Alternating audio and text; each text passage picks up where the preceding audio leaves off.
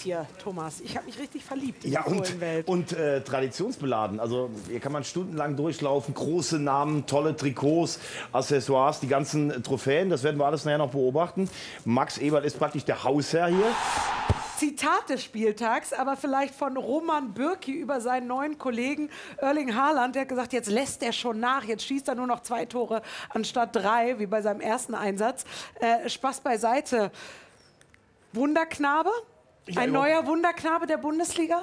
Es sieht ganz danach aus. Wenn der nur ein paar Minuten spielt und dann immer schon so extrem für Furore sorgt, dann ist ja die Wahrscheinlichkeit groß, dass er, wenn er von Anfang an spielt, die Bundesliga kaputt schießt. Ich bin einer, der jetzt nicht immer von Spieltag zu Spieltag wackelt. Also für mich war RB aufgrund der Hinrunde, aufgrund der Leistung, aufgrund den Qualitäten, die sie haben, sie haben sich auch nochmal verstärkt, ähm, für mich schon ein, ein sehr, sehr heißer Favorit. Aber ich habe auch immer gesagt, äh, wenn Bayern oder Dortmund mal so einen Lauf bekommen, dann sind sie schwer zu halten. Also bei mir bleibt es momentan so, obwohl es vielleicht nicht so aussieht, dass Leipzig der Favorit ist. Äh, Sie haben ja alle Talente auf dem Schirm, die, die bei den großen Clubs spielen, aber auch bei den Unbekannten. Was ist er für ein Mann und kann er auf der rechten Seite diese ja, vermeintliche Schwachstelle der Bayern beseitigen?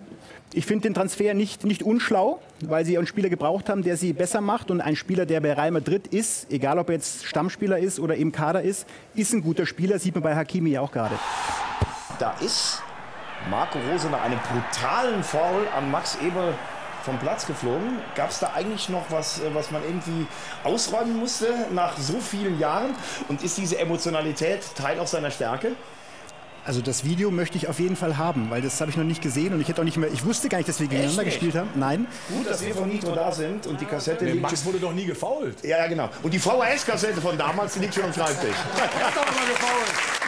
Ich bin auch ein bisschen enttäuscht von mir. Ich wirke gerade ein bisschen weich. Ich bin sehr, sehr weich gefallen. Hannover hatte die Taktik auch, auch das Schwungrad Max Eberl lahmzulegen. Haben sie nicht geschafft. sie haben sich selber dezimiert, wenn ich das richtig, richtig verstanden habe. Aber tatsächlich, das wird morgen Gesprächsthema in der Kabine sein. Das werde ich schon noch mal ansprechen, die Thematik. Lass uns noch mal kurz zurückkommen auf äh, Erling Haaland. Das ist äh, wirklich eine unglaubliche äh, Geschichte. Als Sie äh, vom Transfer gehört haben, was war so Ihr erster Gedanke?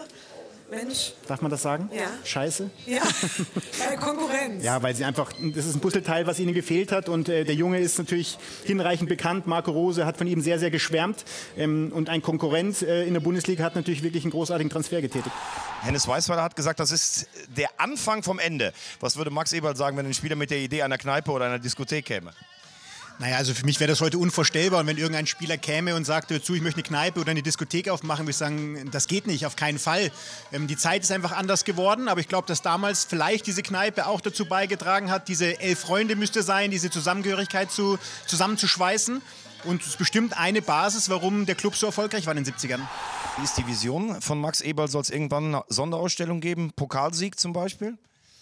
Ich würde mich sehr, sehr freuen, wenn es irgendwann eine Sonderausstellung gäbe und wir irgendeinen Pokal präsentieren könnten. Dafür arbeiten wir jeden Tag und ähm, wie gesagt, das ist ja mein großer Traum, was Blechernes in den Hand zu halten.